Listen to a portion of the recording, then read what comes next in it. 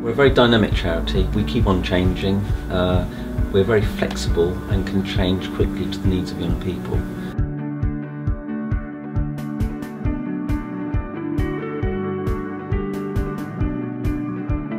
We've also been uh, diversifying our in income streams, so I'm now working with a lot more businesses around Southampton and across Hampshire, trying to get them to support us in a variety of different ways.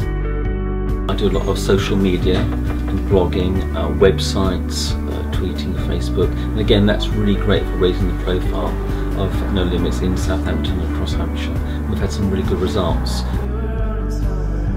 We will continue with our core delivery, which is our drop-ins, which is really, really important, our free drop-ins within Southampton, our health and promotion drop-ins in the schools, and our counselling work. There are sort of our, our, main things that we do with young people. So whatever happens, whatever economic problems we have, we will continue to do those two essential pieces of work for young people. So I'm the full-time city drop-in worker, um, so I'm here every day on the drop-ins at City. This is where I'm based and it's just welcoming young people in, talking to them about any issues, literally ranging from homelessness, substance use, um, benefit, help and advice, um, to CV building.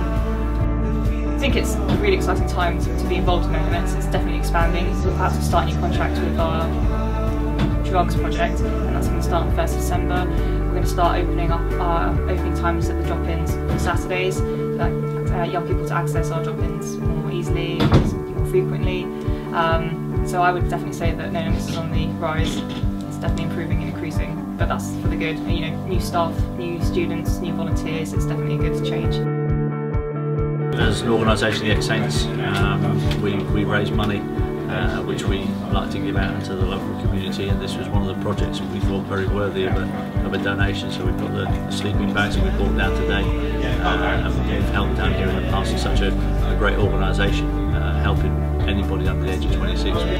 We sit down with our board meetings, don't we? And you know, when we manage to accumulate some funds, we, we sit and decide how we're going to distribute those funds. And uh, No Limits was one that was a, a suggestion some time back.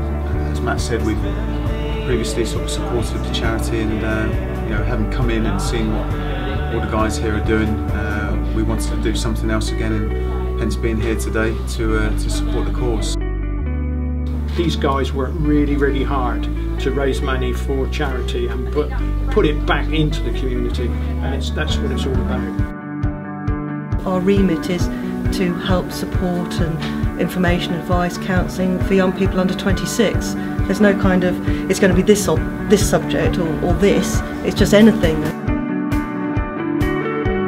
I mean, they have as much right to a really good service as anybody else. And so I think it's vital that the centres look nice, that we're well presented, that the information's correct, and that young people feel valued.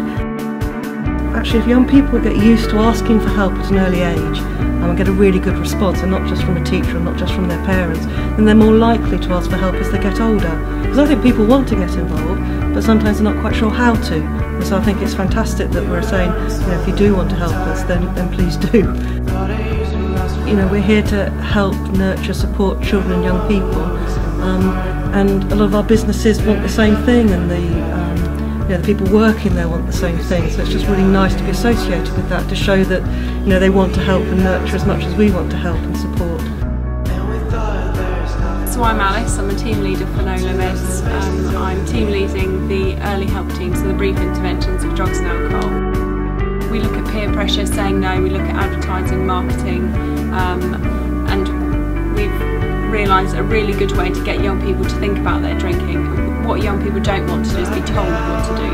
So when we talk about how marketing is directly advertised towards them, directly sort of pointed at them, then they reconsider um, how, how they're being influenced by, by the marketing of alcohol.